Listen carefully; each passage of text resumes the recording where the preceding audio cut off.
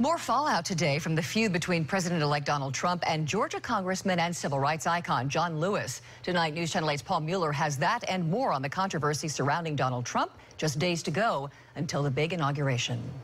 This morning, I had the chance to speak with Democratic strategist Barry Edwards and Gordon Oldham of the Pinellas Republicans to get their take on Trump. The president-elect is taking aim on Twitter at a civil rights icon, Georgia Congressman John Lewis, who marched with Dr. Martin Luther King Jr., tells NBC's Chuck Todd he's skipping Trump's inauguration. Uh, I don't see this president-elect as a legitimate president. Trump responded, blasting Lewis on Twitter, saying the Georgia congressman should spend more time on fixing and helping his district, which Trump called crime infested. I think that that was an opportunity that Trump missed again.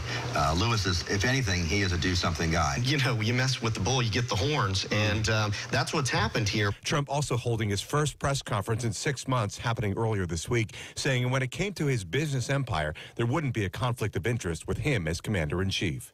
Did that work, Barry? He's got a massive business empire, and he it's just it's not like going and selling 10 shares of stock. Most of the hotels are branded with him. I think they need to work out some things, and he needs to have some distance. What he's going to have to do is divest himself. It's going to take some time, and I think that we should give him the leeway to allow him to do that.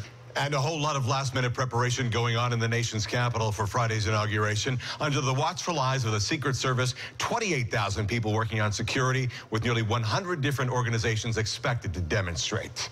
Paul Mueller, News Channel 8.